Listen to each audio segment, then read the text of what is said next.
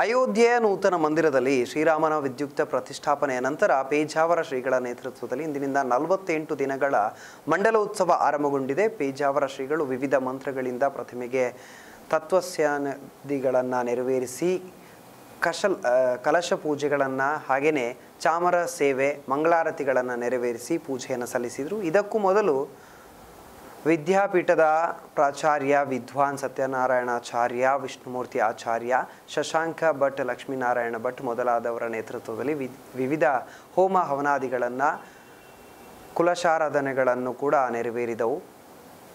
ಇಂದಿನಿಂದ ಪೇಜಾವರ ಶ್ರೀಗಳು ಅವರ ನೇತೃತ್ವದಲ್ಲಿ ಅಲ್ಲಿ ಪೂಜಾ ಕೈಂಕರ್ಯಗಳು ನಡೆಯಲಿವೆ.